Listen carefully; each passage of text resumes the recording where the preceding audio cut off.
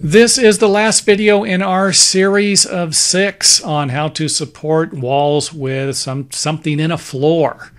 And again, we have the soil here and the concrete footing, concrete uh, slab there, except for this one here, we actually have some more concrete in here because it's a bigger load would say something like this would be a situation where you have a lot of weight. Now, first thing I'd like to say is in the last video, the beam was in the floor. You could actually have the same situation with the uh, pad and the post, but have a beam in the floor. Um, so this this would be common, and then the plates, of course, would run through. So this type of situation might be a little more common if you have a larger beam, um, but it's not going to be uncommon either to have a larger beam or you might have a beam that uh, butts the sheathing and then comes down. You know, maybe it's a six by six by sixteen where you're coming below the plate, something like that. Zoom in here.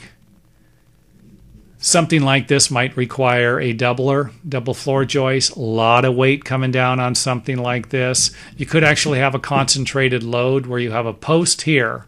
This could be a non bearing wall with a concentrated load. You got a post coming down here, and then this beam is just to carry the additional weight of the concentrated load.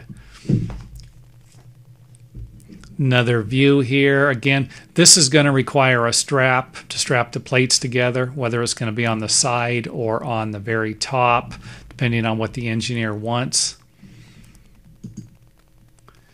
Now let's take a look at the concrete pads. They are going to be larger. This is going to, a situation like this, you're going to have a lot of weight. It's going to require additional um, concrete, something, a footing to distribute the load so if this is a remodeling project, this is going to be a nightmare. Trust me, I've done plenty of them, and uh, they aren't easy. You know, it's kind of a pain in the butt to do something like that. And then when when you're done and all this, all the concrete's filled in, it looks the same as it was when you started. You don't really get any uh, award-winning prizes for that, uh, even though you know by doing all the hard work.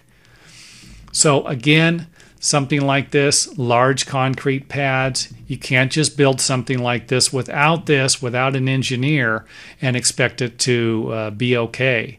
So, and an engineer is drawing this stuff in. They're design. They are doing the math. They know what's necessary to make this building last, and most of the time you don't, as a contractor uh, construction worker or a homeowner doing doing your own work. So just keep that in mind. I recommend, like I said in video number one, hiring a structural engineer if you're going to be doing any modifications to the wall framing system or the floor. So that's it for the series. Feel free to leave any questions in the comment area and I will answer them as soon as possible.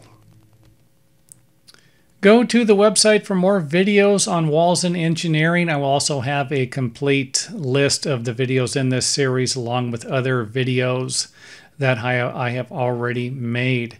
Video.gregvan.com structural engineering or go to the gregvan.com website, any one of them, and look for the video box in the upper left hand corner. Once you get to the video website, click on the structural engineering link and you should be good to go. You should be where you need to be.